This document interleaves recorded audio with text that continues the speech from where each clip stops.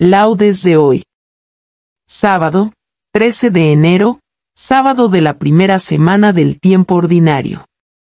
Señor, abre mis labios. Y mi boca proclamará tu alabanza. Gloria al Padre, y al Hijo, y al Espíritu Santo. Como era en el principio, ahora y siempre, por los siglos de los siglos. Amén. Del Señor es la tierra y cuanto la llena, venid, adorémosle. Venid, aclamemos al Señor, demos vítores a la roca que nos salva, entremos a su presencia dándole gracias, aclamándolo con cantos. Porque el Señor es un Dios grande, soberano de todos los dioses, tiene en su mano las cimas de la tierra, son suyas las cumbres de los montes, suyo es el mar, porque él lo hizo, la tierra firme que modelaron sus manos. Venid, postrémonos por tierra, bendiciendo al Señor, Creador nuestro. Porque Él es nuestro Dios, y nosotros su pueblo, el rebaño que Él guía. Ojalá escuchéis hoy su voz, no endurezcáis el corazón como en Meribá, como el día de Masá en el desierto, cuando vuestros padres me pusieron a prueba y dudaron de mí, aunque habían visto mis obras. Durante cuarenta años aquella generación me repugnó, y dije, es un pueblo de corazón extraviado, que no reconoce mi camino, por eso he jurado en mi cólera que no entrarán en mi descanso. Gloria al Padre, y al Hijo, y al Espíritu Santo. Como era en el principio, ahora y siempre, por los siglos de los siglos. Amén. Del Señor es la tierra y cuanto la llena, venid, adorémosle. En el nombre del Padre, del Hijo y del Espíritu, salimos de la noche y estrenamos la aurora. Saludamos el gozo de la luz que nos llega resucitada y resucitadora. Tu mano acerca el fuego a la tierra sombría, y el rostro de las cosas se alegra en tu presencia. Si la veas el alba igual que una palabra, tú pronuncias el mar como sentencia. Regresa, desde el sueño, el hombre a su memoria, acude a su trabajo, madruga a sus dolores. Le confías la tierra, y a la tarde la encuentras rica de pan y amarga de sudores. Y tú te regocijas, oh Dios, y tú prolongas en sus pequeñas manos tus manos poderosas, y estáis de cuerpo entero los dos así creando, los dos así velando por las cosas. Bendita la mañana que trae la noticia de tu presencia joven, en gloria y poderío, la serena certeza con que el día proclama que el sepulcro de Cristo está vacío. Amén. Me adelanto a la aurora pidiendo auxilio. Te invoco de todo corazón, respóndeme, Señor, y guardaré tus leyes, a ti grito, sálvame, y cumpliré tus decretos. Me adelanto a la aurora pidiendo auxilio, esperando tus palabras. Mis ojos se adelantan a las vigilias de la noche, meditando tu promesa, escucha mi voz por tu misericordia. Con tus mandamientos dame vida, ya se acercan mis inicuos perseguidores, están lejos de tu voluntad. Tú, Señor, estás cerca, y todos tus mandatos son estables. Hace tiempo comprendí que tus preceptos los fundaste para siempre. Gloria al Padre, y al Hijo, y al Espíritu Santo. Como era en el principio, ahora y siempre, por los siglos de los siglos. Amén. Me adelanto a la aurora pidiendo auxilio. Mi fuerza y mi poder es el Señor, Él fue mi salvación. Cantaré al Señor, sublime es su victoria, caballos y carros ha arrojado en el mar. Mi fuerza y mi poder es el Señor, Él fue mi salvación. Él es mi Dios, yo lo alabaré, el Dios de mis padres, yo lo ensalzaré. El Señor es un guerrero, su nombre es, el Señor. Los carros del faraón los lanzó al mar, ahogó en el mar rojo a sus mejores capitanes. Al soplo de tu ira se amontonaron las aguas, las corrientes se alzaron como un dique, las olas se cuajaron en el mar. Decía el enemigo, los perseguiré y alcanzaré, repartiré el botín, se saciará mi codicia, empuñaré la espada, los agarrará mi mano. Pero sopló tu aliento y los cubrió el mar, se hundieron como plomo en las aguas formidables. ¿Quién como tú, Señor, entre los dioses? ¿Quién como tú, terrible entre los santos, temibles por tus proezas, autor de maravillas? Extendiste tu diestra, se los tragó la tierra, guiaste con misericordia a tu pueblo rescatado, los llevaste con tu poder hasta tu santa morada. Lo introduces y lo plantas en el monte de tu heredad, lugar del que hiciste tu trono, Señor, santuario, Señor, que fundaron tus manos. El Señor reina por siempre jamás. Gloria al Padre, y al Hijo, y al Espíritu Santo. Como era en el principio, ahora y siempre, por los siglos de los siglos. Amén. Mi fuerza y mi poder es el Señor, Él fue mi salvación. Alabad al Señor, todas las naciones. Alabad al Señor, todas las naciones, aclamadlo, todos los pueblos. Firme es su misericordia con nosotros, su fidelidad dura por siempre. Gloria al Padre, y al Hijo, y al Espíritu Santo. Como era en el principio, ahora y siempre, por los siglos de los siglos. Amén. Alabad al Señor, todas las naciones. Hermanos, poned más empeño todavía en consolidar vuestra vocación y elección. Si hacéis así, nunca jamás tropezaréis. De este modo se os concederá generosamente la entrada en el reino eterno de nuestro Señor y Salvador Jesucristo. A ti grito, Señor, tú eres mi refugio. Mi heredad en el país de la vida. Tú eres mi refugio. Gloria al Padre, y al Hijo, y al Espíritu Santo. A ti grito, Señor, tú eres mi refugio. Del libro del Génesis. Dios se acordó de Noé y de todos los animales y ganado que estaban con él en el arca. Hizo soplar el viento sobre la tierra, y el agua comenzó a bajar. Se cerraron las fuentes del océano y las compuertas del cielo, y cesó la lluvia del cielo. El agua se fue retirando y disminuyó, de modo que, a los 150 días, el día 17 del mes séptimo, el arca encalló sobre los montes de Ararat. El agua fue disminuyendo hasta el mes décimo, y el día primero de ese mes asomaron los picos de las montañas. Pasados cuarenta días, Noé abrió el tragaluz que había hecho en el arca y soltó el cuervo, que voló de un lado para otro, hasta que se secó el agua en la tierra.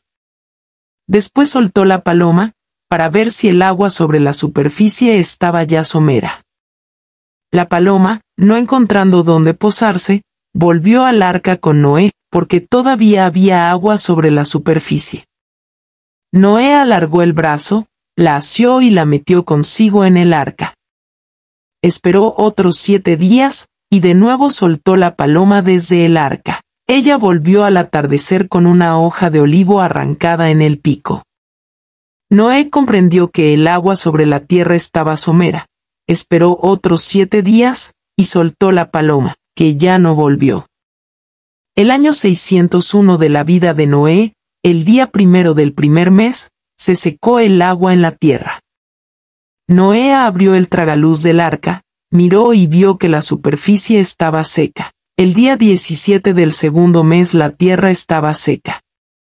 Entonces, dijo Dios a Noé, Sal del arca con tus hijos, tu mujer y tus nueras, todos los seres vivientes que estaban contigo, todos los animales, aves, cuadrúpedos o reptiles, hazlos salir contigo, para que pululen por la tierra y crezcan y se multipliquen en la tierra.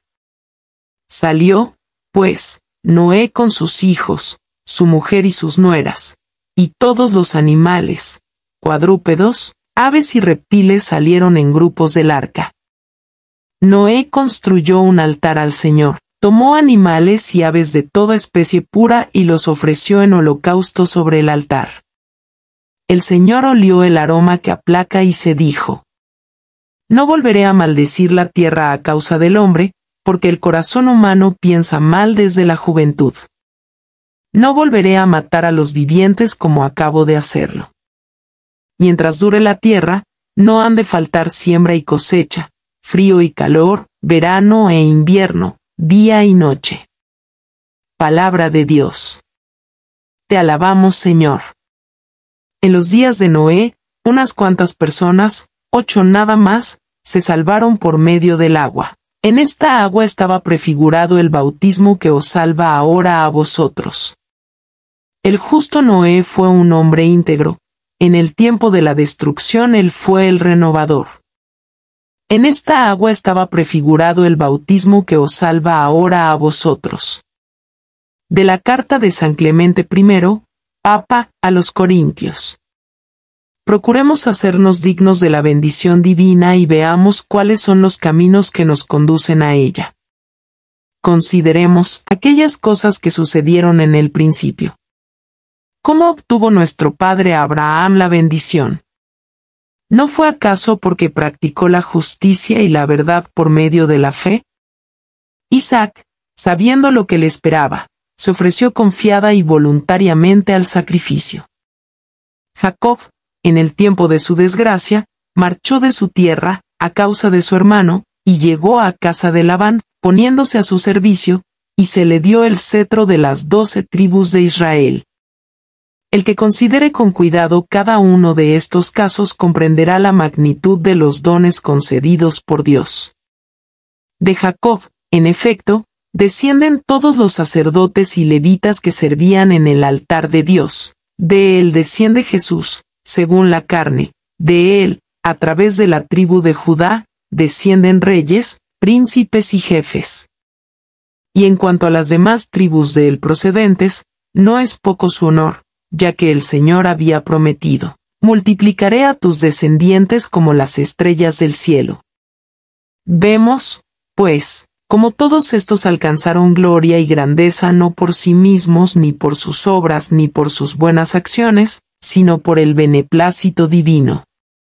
También nosotros, llamados por su beneplácito en Cristo Jesús, somos justificados no por nosotros mismos, ni por nuestra sabiduría o inteligencia, ni por nuestra piedad, ni por las obras que hayamos practicado con santidad de corazón, sino por la fe, por la cual Dios Todopoderoso justificó a todos desde el principio. A Él sea la gloria por los siglos de los siglos. Amén. ¿Qué haremos, pues, hermanos? Cesaremos en nuestras buenas obras y dejaremos de lado la caridad. No permita Dios tal cosa en nosotros, antes bien, con diligencia y fervor de espíritu, apresurémonos a practicar toda clase de obras buenas. El mismo Hacedor y Señor de todas las cosas se alegra por sus obras. Él, en efecto, con su máximo y supremo poder, estableció los cielos y los embelleció con su sabiduría inconmensurable. Él fue también quien separó la tierra firme del agua que la cubría por completo, y la afianzó sobre el cimiento inamovible de su propia voluntad. Él, con solo una orden de su voluntad, dio el ser a los animales que pueblan la tierra. Él también, con su poder, encerró en el mar a los animales que en él habitan, después de haber hecho uno y otros. Además de todo esto, con sus manos sagradas y puras, plasmó al más excelente de todos los seres vivos y al más elevado por la dignidad de su inteligencia, el hombre, en el que dejó la impronta de su imagen. Así, en efecto, dice Dios, hagamos al hombre a nuestra imagen y semejanza.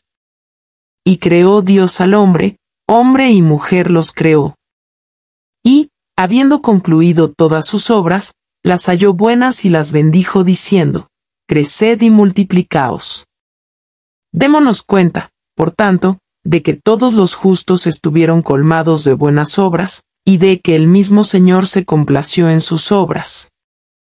Teniendo semejante modelo, entreguémonos con diligencia al cumplimiento de su voluntad, pongamos todo nuestro esfuerzo en practicar el bien. De la carta de San Clemente I, Papa a los Corintios. El Señor es el Dios poderoso, que guarda su alianza y su amor a todos los que lo aman, y a los que guardan sus preceptos. A los que aman a Dios todo les sirve para el bien. Y a los que guardan sus preceptos. Del Evangelio según San Marcos. En aquel tiempo, Jesús salió de nuevo a la orilla del lago, la gente acudía a él y les enseñaba. Al pasar, vio a Leví, el de Alfeo, sentado al mostrador de los impuestos, y le dijo, Sígueme. Se levantó y lo siguió. Estando Jesús a la mesa en su casa, de entre los muchos que lo seguían un grupo de publicanos y pecadores se sentaron con Jesús y sus discípulos. Algunos escribas fariseos, al ver que comía con publicanos y pecadores, les dijeron a los discípulos, de modo que come con publicanos y pecadores. Jesús lo oyó y les dijo, no necesitan médico los sanos, sino los enfermos. No he venido a llamar a los justos, sino a los pecadores. Palabra del Señor. Gloria a ti Señor Jesús. Ilumina, Señor, a los que viven en tiniebla y en sombra de muerte. Bendito sea el Señor, Dios de Israel, porque ha visitado y redimido a su pueblo. Suscitándonos una fuerza de salvación en la casa de David, su siervo, según lo había predicho desde antiguo por boca de sus santos profetas. Es la salvación que nos libra de nuestros enemigos y de la mano de todos los que nos odian. Ha realizado así la misericordia que tuvo con nuestros padres, recordando su santa alianza y el juramento que juró a nuestro padre Abraham. Para concedernos que, libres de temor, arrancados de la mano de los enemigos, le sirvamos con santidad y justicia, en su presencia, todos nuestros días. Y a ti, niño, te llamarán profeta del Altísimo, porque irás delante del Señor a preparar sus caminos, anunciando a su pueblo la salvación, el perdón de sus pecados. Por la entrañable misericordia de nuestro Dios, nos visitará el sol que nace de lo alto, para iluminar a los que viven en tiniebla y en sombra de muerte, para guiar nuestros pasos por el camino de la paz. Gloria al Padre, y al Hijo, y al Espíritu Santo. Como era en el principio, ahora y siempre, por los siglos de los siglos. Amén. Ilumina, Señor, a los que viven en tiniebla y en sombra de muerte. Bendigamos a Cristo que para ser ante Dios el pontífice misericordioso y fiel de los hombres se hizo en todo, semejante a nosotros, y supliquémosle diciendo. Muéstranos, Señor, los tesoros de tu amor. Señor, Sol de justicia, que nos iluminaste en el bautismo, te consagramos este nuevo día. Muéstranos, Señor, los tesoros de tu amor. Que sepamos bendecirte en cada uno de los momentos de nuestra jornada y glorifiquemos tu nombre con cada una de nuestras acciones. Muéstranos, Señor, los tesoros de tu amor. Tú que tuviste por madre a María, siempre dócil a tu palabra, encamina hoy nuestros pasos para que obremos también como ella según tu voluntad. Muéstranos, Señor, los tesoros de tu amor. Haz que mientras vivimos aún en este mundo que pasa anhelemos la vida eterna y por la fe, la esperanza y el amor vivamos ya contigo en tu reino. Muéstranos, Señor, los tesoros de tu amor. Con la misma confianza que tienen los hijos con su padre, acudamos nosotros a nuestro Dios, diciéndole, Padre nuestro que estás en el cielo, santificado sea tu nombre, venga a nosotros tu reino, hágase tu voluntad en la tierra como en el cielo. Danos hoy nuestro pan de cada día, perdona nuestras ofensas, como también nosotros perdonamos a los que nos ofenden, no nos dejes caer en la tentación, y líbranos del mal. Amén. Dios te salve, María, llena eres de gracia, el Señor es contigo. Bendita tú eres entre todas las mujeres, y bendito es el fruto de tu vientre, Jesús. Santa María, Madre de Dios, ruega por nosotros, pecadores, ahora y en la hora de nuestra muerte. Amén. Te pedimos, Señor, que la claridad de la resurrección de tu Hijo ilumine las dificultades de nuestra vida, que no temamos ante la oscuridad de la muerte y podamos llegar un día a la luz que no tiene fin. Por nuestro Señor Jesucristo, tu Hijo, que vive y reina contigo en la unidad del Espíritu Santo y es Dios, por los siglos de los siglos. Amén. El Señor nos bendiga, nos guarde de todo mal y nos lleve a la vida eterna. Amén.